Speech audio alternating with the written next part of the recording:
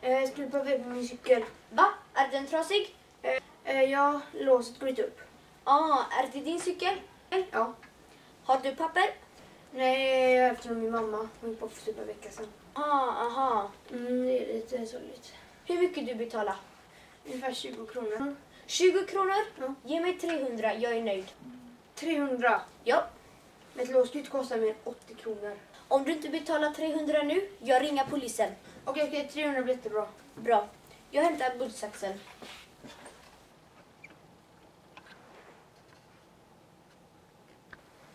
Så, nu fixa. Så, nu 300 kronor. Tack. Tack. Då. Ha, han tjuvar cykeln och betalar 300 kronor. Vilken idiot.